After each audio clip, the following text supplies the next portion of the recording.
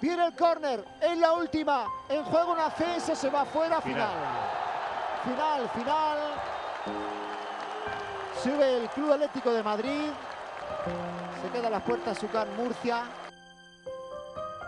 Sí, se quedó a las puertas, así que el año que viene Lucán volverá a estar en Segunda Federación junto a otros cinco equipos de la región. Todo después de un último partido que tuvo de todo menos goles.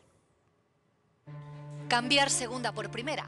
El sueño. El sueño de dos aficiones. Atlético de Madrid B y UCAN de fútbol. Último partido y última oportunidad. Así que nadie se lo quiso perder. Menos el presidente rojiblanco, Enrique Cerezo. Todos conscientes de que no iba a ser fácil y se iba a sudar.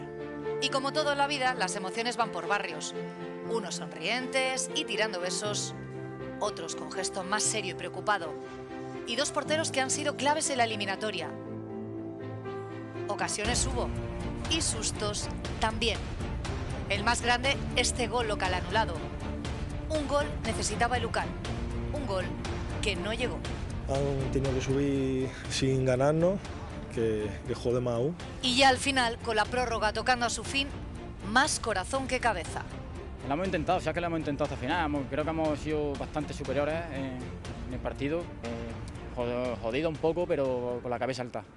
El corazón se nos encogió con las imágenes que siempre nos deja un ascenso frustrado. Siento infinito no haberles podido dar.